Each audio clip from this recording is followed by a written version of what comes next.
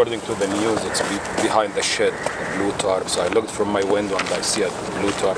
Two Halloweens ago, not this last Halloween, the Halloween before, he was outside uh, dressing in, I don't remember the costume, but you know, in a Had he moved out? Because I know they found him in Montreal. Do you, know anything sort of? No, I him? saw him a few days ago. I, I, I tried last night to remember, you know, when did I see him last, but I didn't really remember.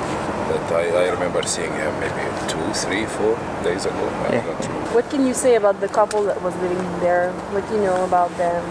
How they were with you? Not, not, not much. Uh, you know, old couples are very discreet. They, not much. But, you know, friendly and they're not out very often. Um, only spring and summer. She likes gardening big time. Did you know the son a little bit? Yeah, he used to play soccer on the street. Sometimes, you know, I kick a ball or two with him. That's that's about it. Yeah. Um, I I know they were trying very hard to get him into education.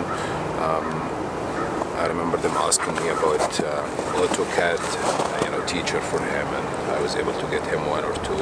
Tried to get him into college, but in college. Yeah. I don't think he was. Yeah, he wasn't wasn't there. Yeah. Yeah. Have you ever seen some dispute here? No, no, never, Uh, never, Problems with between the son and the never, never, family?